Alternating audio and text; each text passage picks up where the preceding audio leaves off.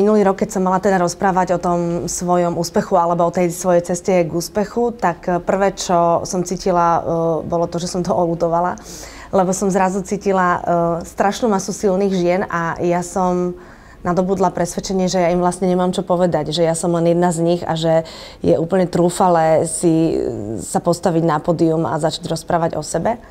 Ale ako náhle som videla ich pohľady, ktoré sa upierali na mňa a strašne som cítila, že oni sú zvedavé, čo im poviem a boli veľmi také supportive, že ma podporovali, tak som sa postavila na to pódium, tak som vedela, že som na správnom mieste, lebo energia, ktorá šla jednak e, z toho pódia a jednak na to pódium, bola tak silná, tak intenzívna a tak iskrivá, že to sa dá prirovnať k energii, mm, keď sa prvý raz zamilujete alebo niečo také podobné. Bolo to hrozne silné. Všetky sme boli strašne nakopnuté. Ja som bola nakopnutá na to, že musím ísť ďalej, lebo som cítila feedback uh, z tých žien, že moja práca za niečo stojí.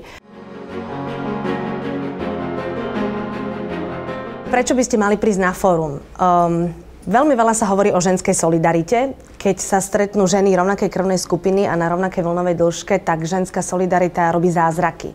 Lebo je iné, keď vám doma váš chlap alebo možno nie doma, možno váš frajer povie, že jasne si dobrá, choď do toho.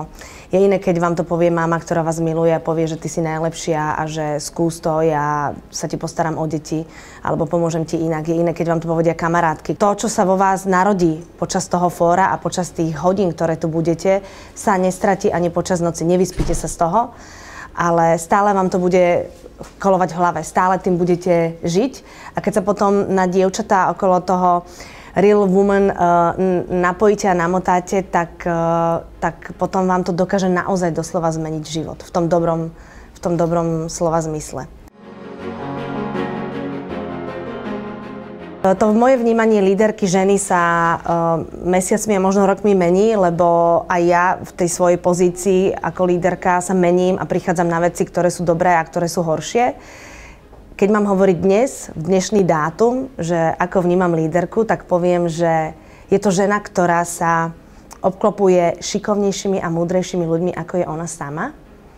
Učí sa od nich, berie ich rady s pokorou a vie ich zmanéžovať tak, aby ich stále mala pod kontrolou ona a aby všetky išli podľa jej predstav.